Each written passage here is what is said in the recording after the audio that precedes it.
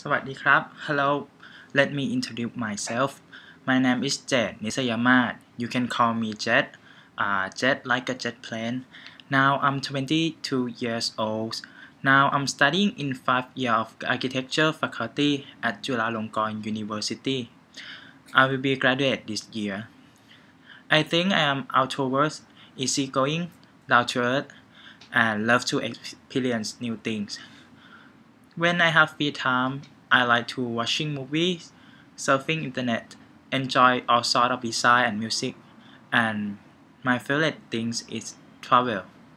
America is the one of my purpose too. I want to go to San Francisco, New York, Florida, and Los Angeles.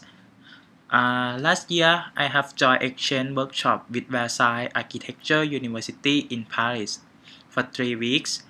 That was the first inspiration to make me want to travel another country by my own.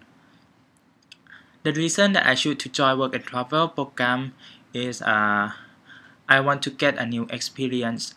I want to meet new people, new culture, new place, and I want to improve my English skill.